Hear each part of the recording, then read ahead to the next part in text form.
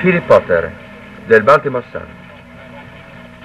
All'aeroporto un'accoglienza corretta, dosata sui minimi essenziali del cerimoniale, priva di qualsiasi spunto di calore popolare. E poi a Pechino il primo grosso sviluppo a sorpresa, l'incontro anticipato tra Nixon e Mao Zedong.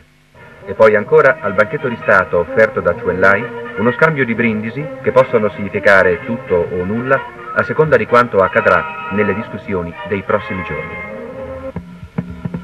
A noi proseguono i bombardamenti dei B-52 americani sul Nord Vietnam. Saigon. I Viet Cong attaccano una quarantina di basi americane nel Vietnam del Sud. Taipei. Chiang Kai-shek ha annunziato il suo ritiro a vita privata. Il governo formosano presenta formale nota diplomatica di protesta all'ambasciata americana per la visita di Nixon in Cina.